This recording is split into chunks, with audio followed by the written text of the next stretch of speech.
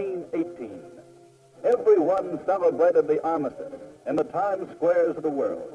While victory flags still waved, America cut the Army Air Service 95%, making it a skeleton force. In France, our airmen had earned the admiration of the Allies, but economy only permitted a handful to rejoin the post-war ranks. Fortunately, among them were Mitchell, Brereton, Spaatz, Arnold, and other future Air Force leaders. Many airmen, such as Captain Eddie Rickenbacker, left the service and adjusted themselves to the rigors of civilian life. A few became world famous, like Air Captain Fiorello LaGuardia. Stayed in, there was immediate need for their activities. To inaugurate the U.S. Airmail Service, which was pioneered by the Army, President Wilson escorted the First Lady. The Postmaster General picked one of us Army pilots to be the first to fly the mail. For the benefit of the Red Cross, the President had addressed a letter to the Postmaster of New York City. Witnesses watched the famous first air airmail letter being posted. Lack of instruments and navigation maps made flying tough, but we hoped jobs like this would increase public confidence in our abilities. With the mail sacked up and ready to go, Wilson and the pilot discussed the proposed flight. Meanwhile, the four mail sacks were stashed away in the open cockpit under the president's friendly gaze. Then the pilot climbed aboard, little dreaming that less than 22 miles from Washington he'd get lost. Later, the first air mail was delivered by another pilot who followed the railroad tracks to New York. Another Army assignment who stayed in uniform was Forest Fire Patrol. Quick detection brought about important savings in the nation's timber. But in those days, the one who most often captured the public's eye was the war-trained flyer who took up barnstorming. With a $50 surplus trainer and a complete disregard for the law of gravity, he worked in a drafty office only a few seconds a day. To wildcats like Howard Hawks, Roscoe Turner, and Stinson, goes much credit for introducing America to the sky. Even the obsolete pusher, condemned by the Army before the war, helped popularize aviation, develop airfields, and add to the knowledge of flying. The crowds loved to watch the daredevils outdo each other with spectacular stunts.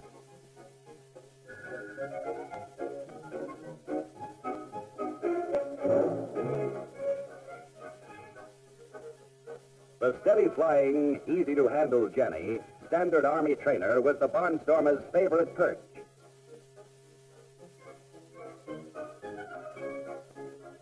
Although some of the more reckless civilian flyers gave aviation a black eye, most of them helped America lead the world toward the air age.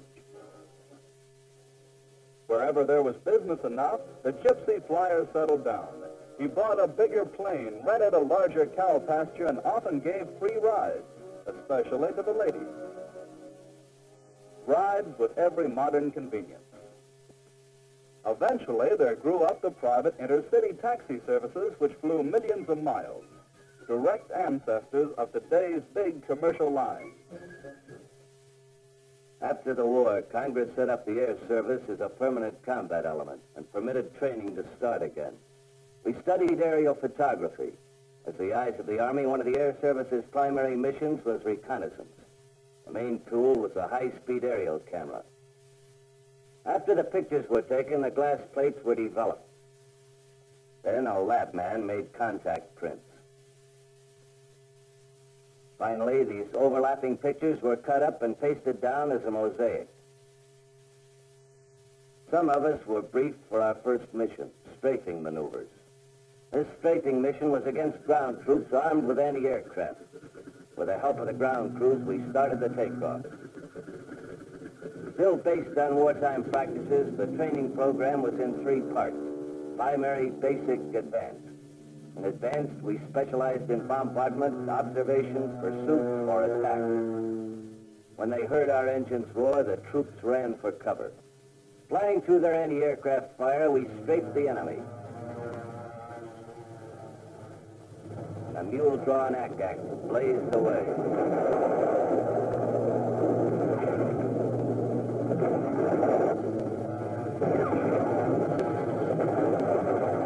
The Army maintained an active, though limited interest, in a lighter-than-air program.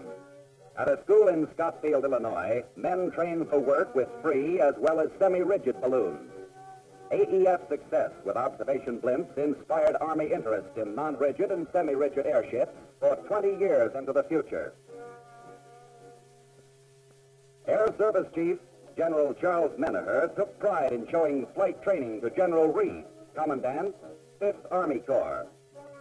Together, they watched Major Carl Spaatz signal 18 pursuit crews to prepare for a mass graduation review. This was the big moment after more than a year of the toughest training in the world. As the newest members of the Air Service, they took off to do their part in building America's early air power. It was a magnificent sight to see these squadrons take possession of the air.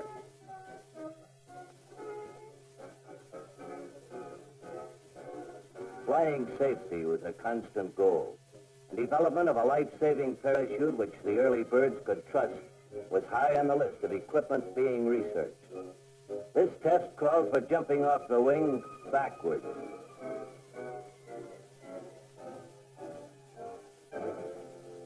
Another method was having the slipstream open the chute and yank a man off the wing.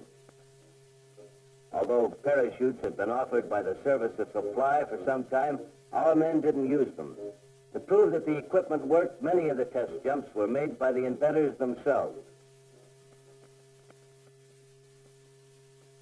Despite budget setbacks, the Air Service continued to make aviation history with record-breaking flights. Lieutenants Kelly and Macready won congratulations from the Dean of all flyers, Orville Wright, for setting several duration and distance records in the famous T-2, a hot ship. For the first non-stop coast-to-coast flight, the Air Service modified a giant commercial transport with special tanks in the wings.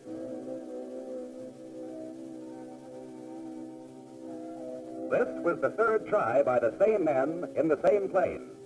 Two previous west to east hops had failed. In preparing the plane, 780 gallons of gas were pumped aboard.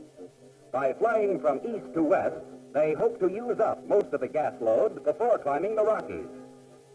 This was not a stunt.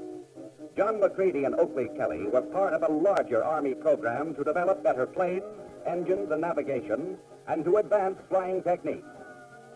As the prop was spun, history took note of May 2nd, 1923 as a memorable day. One of the tensest moments was the takeoff.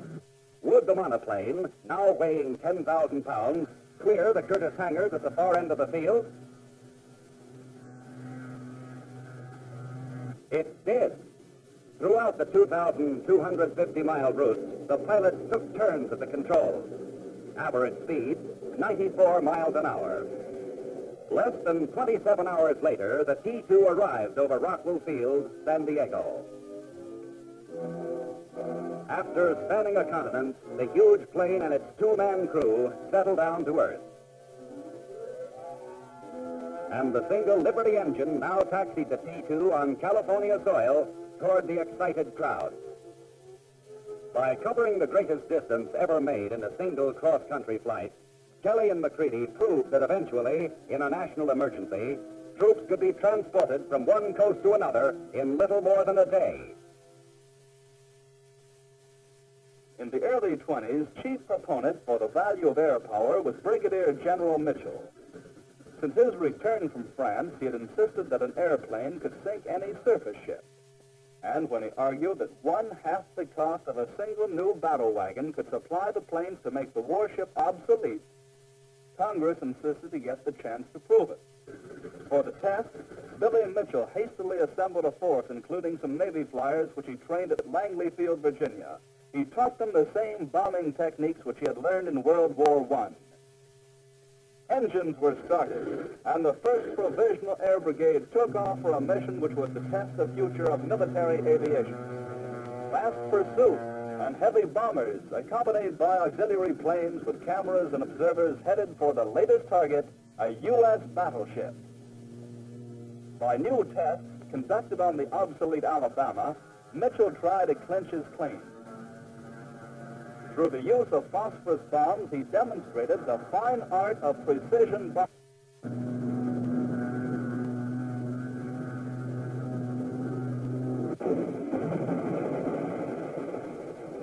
Perfect hit. This was expert pinpoint bombing. Heavier bombs were now prepared by the armors of the Air Brigade, and the SS Shawmut radioed orders for the new takeoff. Power men signaled the heavy bombers, and again they displayed the same remarkable precision. But the Joint Board was still unconvinced even when more bombs finally sank the Alabama. Two years later, Billy Mitchell and his men prepared for a new series of battleship bombing tests, this time against the obsolete battle wagons, New Jersey and Virginia. On the deck of the San Mihiel were General Pershing, Admiral Shoemaker, Assistant Secretary of War Davis, and the new Air Chief, General Patrick. The 1923 tests attracted even more widespread public and official attention. The target sat and waited for a 2,000-pound bomb to be dropped from 10,000 feet. The Air Service was learning that a near miss was the body blow that weakened the hull, setting up a target for the knockout punch. Mitchell's Air Brigade was becoming more and more expert and could lay those eggs anywhere.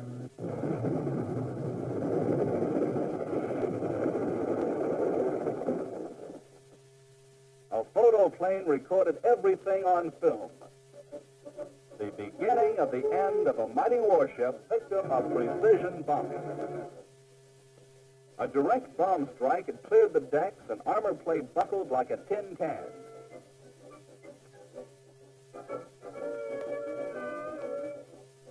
By showing her keel, Virginia proved she's had enough.